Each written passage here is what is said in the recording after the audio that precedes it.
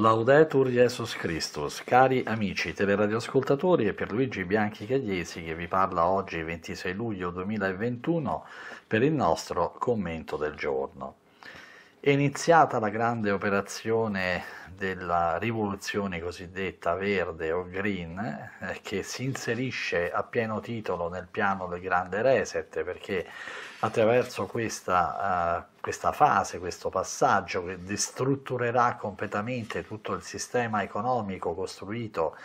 in eh, decenni in tutto il mondo e soprattutto in Europa, noi vedremo veramente un azzeramento di tutta quella che era una struttura, un impianto sociale, una, una modalità di vita che eh, ha contraddistinto soprattutto gli ultimi due secoli e che eh, verrà smantellata progressivamente fino appunto ad azzerare tutto e a portarci poi in una prospettiva che eh, è proprio di stampo direi amazzonico. Aumenta in questo momento comunque la resistenza anche per questioni di interesse delle grandi aziende che eh, si troveranno di fronte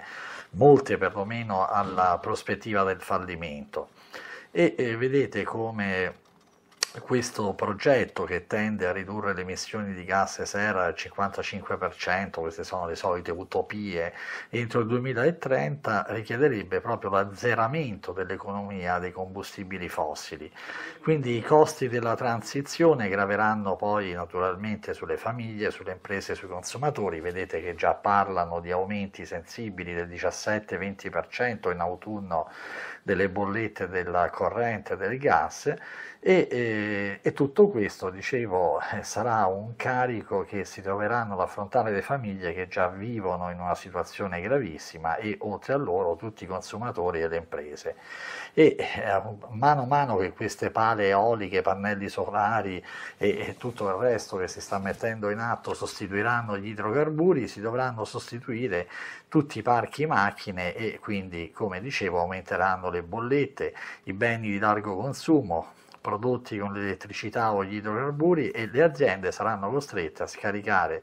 i maggior costi che hanno, come sempre, sui consumatori finali che sono le famiglie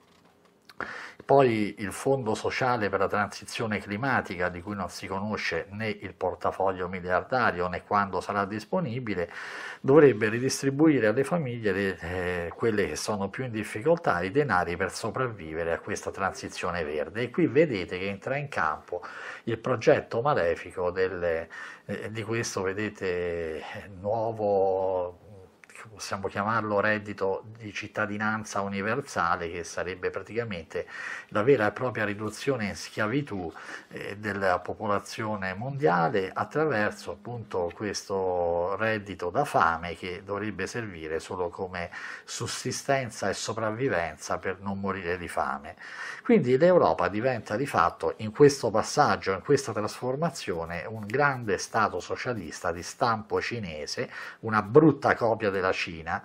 a cui tutti contribuiranno, cioè saranno costretti a contribuire no, con le, le, loro tasse che verranno poi ridistribuite, vedete, con eh, questo reddito che sarà un reddito per morti di fame sul modello inventato dai grillini del reddito di cittadinanza.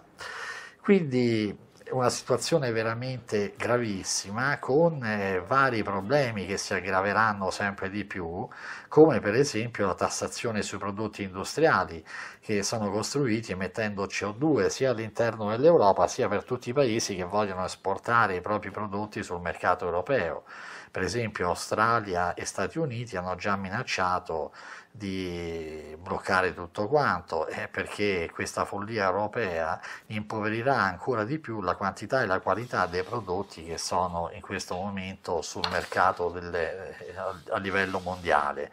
E quindi come al solito vedete chi si avvantaggerà di questa operazione infernale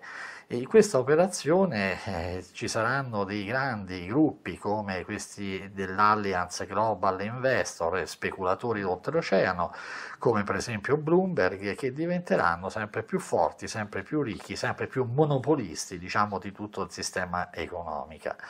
E vedete che la lista di quelli che sono i felici beoti che si godono e se la spassano in questo momento e anche tutta quella parte di persone che sono felici di questa bellissima transizione verde, meravigliosa, no? che ci porterà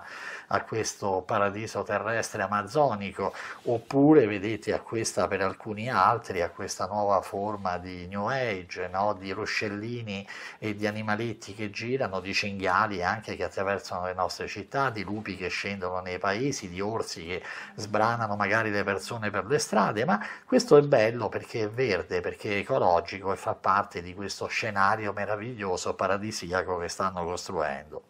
E vedete come in tutto questo processo ci sono questi fiumi di denaro incredibili che continuano a scorrere verso questo progetto insensato, insano, che è iniziato a prendere forma già nel 2012 e ricorderete con quel famoso protocollo di Kyoto in cui si dovevano abbattere le emissioni che anziché diminuire del 5% come si era previsto sono invece aumentate del 50%. Poi siamo arrivati al fatidico del, anno del 2020 in cui se, si dovette constatare che le emissioni, anziché diminuire del 20%, erano invece aumentate del 60% rispetto ai livelli del 1990.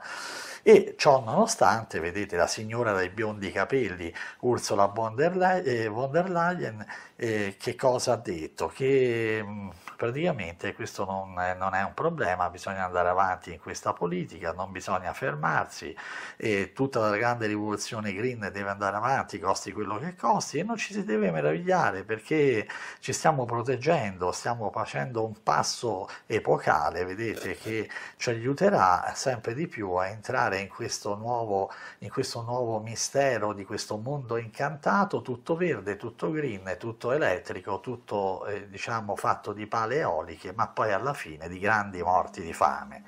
Il clima, vedete, è rimasto comunque insensibile a questi problemi, perché avete visto come ad esempio questa recentissima alluvione che c'è stata soprattutto in Germania, ma anche in altri paesi come il Belgio, che ha fatto cadere fiumi d'acqua ogni giorno, è qualcosa che segue grandi avvenimenti, grandi eventi del passato, come quello del 1951 in cui ci fu un'alluvione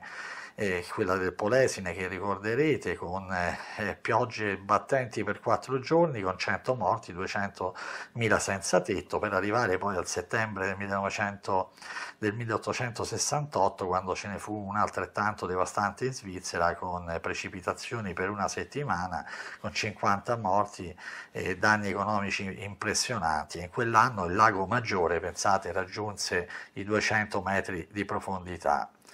ma vedete che a dispetto dei pensieri geniali che passano per la testolina della signora Ursula von der Leyen, nel 1951 eravamo veramente in un clima di, eh, come si può dire, di grande ripresa, di grande speranze, di grandi aspettative e anche nel 1868 le attività umane erano eh, quelle diciamo, che toccavano poi i grandi cambiamenti, soprattutto nel settore industriale, erano quasi assenti. E vedete come quei pensieri che, attraversarono, eh, che attraversano in questo momento la, la, testolina della signora von der Leyen eh, sono quelli che ehm, eh, sfuggono veramente alla gran parte delle persone perché ehm, mettono in luce oltretutto un cinismo senza precedenti, come alcune dichiarazioni che la signora von der Leyen ha fatto proprio subito dopo le sciagure in Germania, quando ha detto che è una sua dichiarazione che l'intensità e la durata di quegli eventi sono stati favoriti dal riscaldamento globale, sottolineando che le misure che bisogna prendere sono quelle che lei sta proponendo per la salvezza del pianeta, delle persone, cioè il riversamento di 1500 miliardi miliardi del denaro dei contribuenti nelle tasche di chiunque sia coinvolto perché fabbricante o perché venditore o installatore di turbine eoliche o di parchi fotovoltaici o di automobili elettriche. Questa è la signora che governa in questo momento l'economia dell'Unione Europea e che ci sta insegnando come dobbiamo diventare bravi bambini proprio in questa transizione ecologica progettata attraverso il grande reset. Ma cari amici radioascoltatori, il grande reset, come abbiamo tante volte detto, lo farà nostro Signore Gesù Cristo, che ha posto già una linea di demarcazione e che ha detto che oltre quella linea non si può più andare. E allora, come diceva il buon Guareschi, aspettiamo che il Signore faccia quel famoso schiocco delle dita in cui dirà che a questo punto le cose si invertono. E allora inizia il passaggio dell'aratro, inizia veramente una rivoluzione verde, inizia veramente una vera e propria situazione di cambiamento eh, totale in cui quest'aratro della storia, passando eh, come una, una, diciamo, uno spartiacque inarrestabile che divide dividerà il, ciò che c'è nel fondo della terra da quello che è in superficie, ribalterà queste due realtà e quello che era stato sommerso, che era stato schiacciato, stritolato, distrutto in tutti i modi, emergerà in maniera prorompente venendo alla luce tutto questo marciume che ancora ha la forza di poter proclamare, di gridare queste follie ininterrotte, passerà invece inesorabilmente nel sottofondo buio e tetro della terra. E eh, cari amici, riflettiamo su questa realtà perché non dobbiamo farci sorprendere né eh, influenzare dalle sirene della comunicazione a senso unico e in questo momento ci vogliono soltanto terrorizzare, ma è l'ultimo rantolo del demonio prima di essere definitivamente schiacciato sotto il tallone benedetto della Santissima Vergine, prima che arrivi il trionfo del cuore immacolato di Maria, ormai imminente, ormai alle porte, mentre il demonio grida, rantola e ruggisce prima della sua inesorabile fine. E a tutti voi, cari amici teleradioascoltatori, l'augurio di una buona giornata. Laudetur Jesus Christus.